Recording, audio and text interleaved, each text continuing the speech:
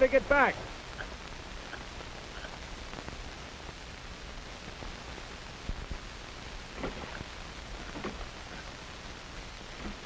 How's the can? Mmm, smell that coffee. You go on and tell the mother we're back. I'll bring the catch as soon as I clean it.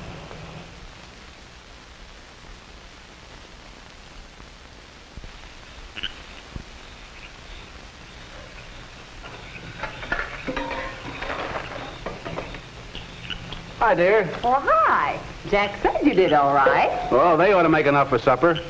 Uh, how did you and uh, Betty do?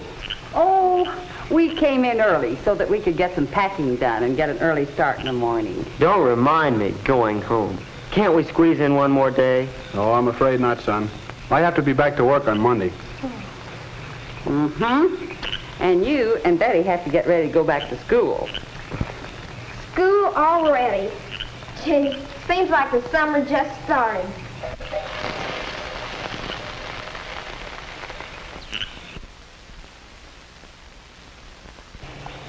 You know, Dad, this camping out's been more fun than any vacation I've ever had.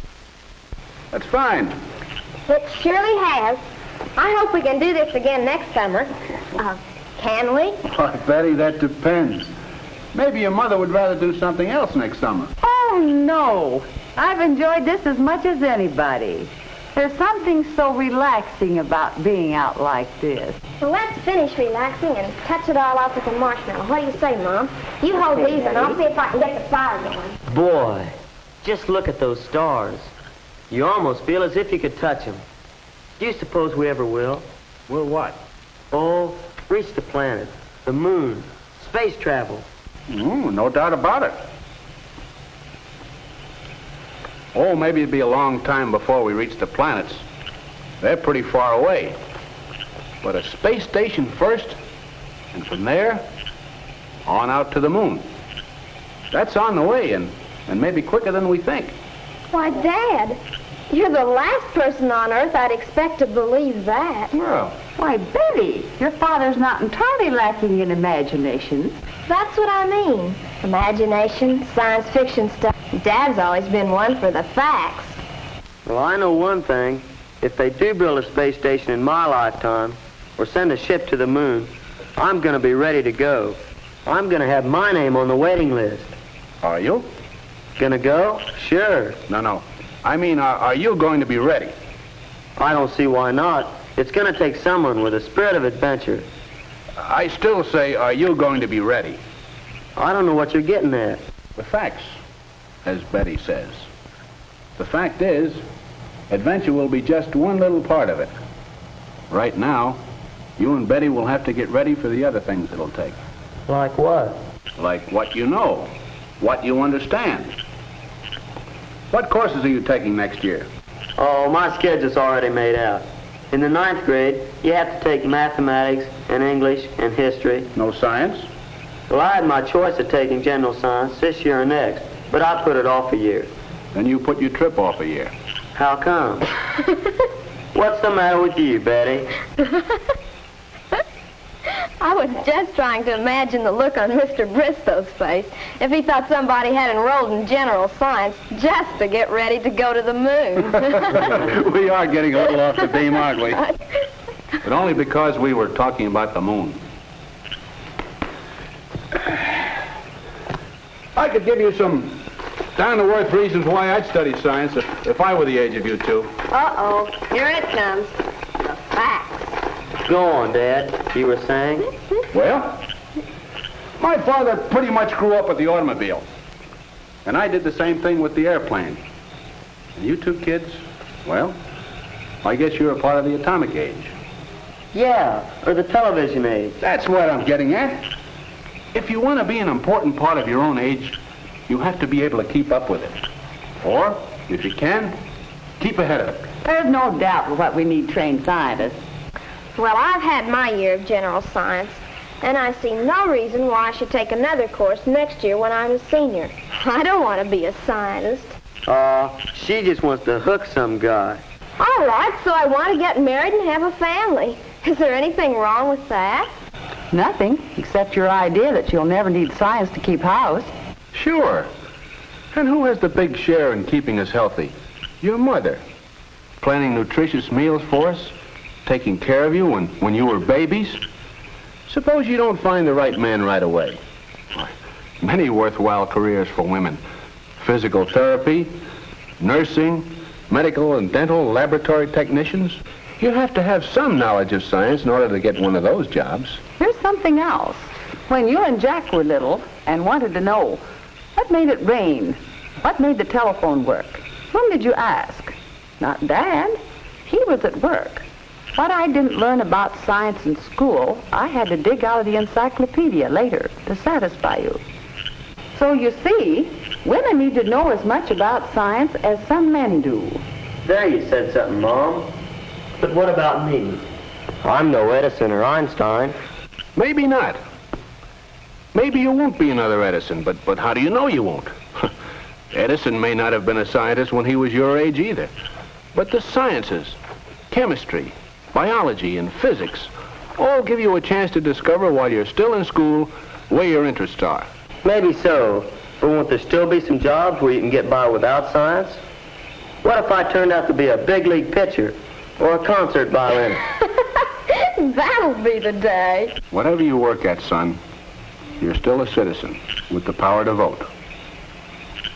Living in a scientific age, we need citizens who know enough about science to make intelligent decisions about what they do.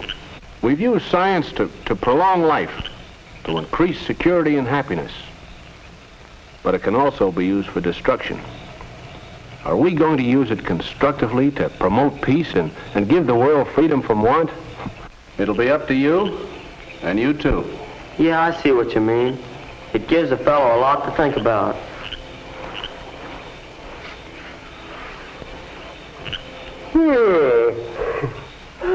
Me too. Five o'clock's going to come awfully early. Five o'clock? Yeah, if we don't get started by then, we won't get home tomorrow night till after dark. I think we better all turn in. Aren't you two coming? I'll be there in a minute. Me too. Yes, Jack, the vacation will soon be over, and you'll be going back to school. You and Betty and thousands of other young people will get down to work in the business of preparing yourselves for the life ahead. And what good prospects the life ahead holds. You will live in finer homes than your forefathers ever dreamed of. You will travel in safety at speeds that would have staggered your grandfather's imagination. You will get to know the people of your world firsthand. Two weeks in Paris. Overnight to Venice. These may be commonplace to you. As the science of agriculture advances, the world will be better fed and clothed and housed. You too will reap great harvests. And you will know the benefits of the many industries pioneered by science. But along with the blessings of a scientific age, you will shoulder new and great responsibilities. You will have to learn all you can about today's technology so that you can do your share of the world's work. So that you can encourage research.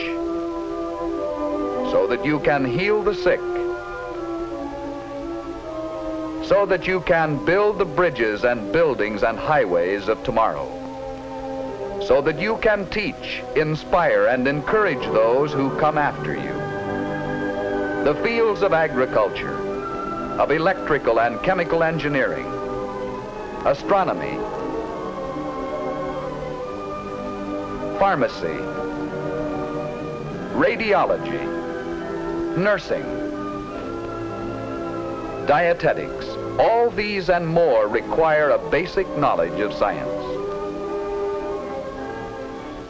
Some of you may be statesmen who must understand the impact and implications of science on society.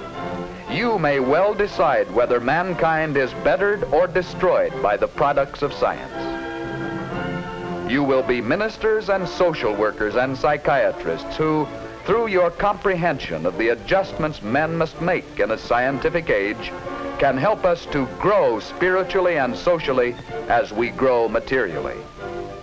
But apart from future benefits, you will find the various fields of science are absorbing studies right here and right now while you're in school. Science is fun. It helps you to learn, to know, and to appreciate.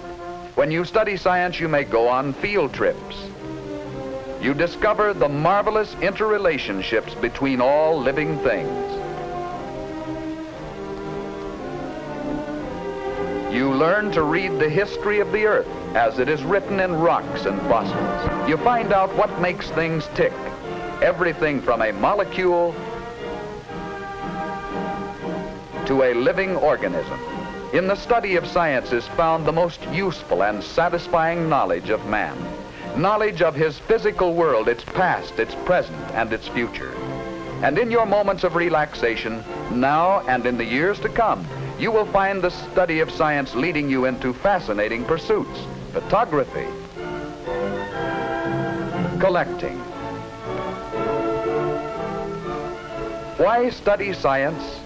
Study science because you and Betty and the Nancys and Bills and Joes and Janes all over the country will find in the study of science a richer, more rewarding life.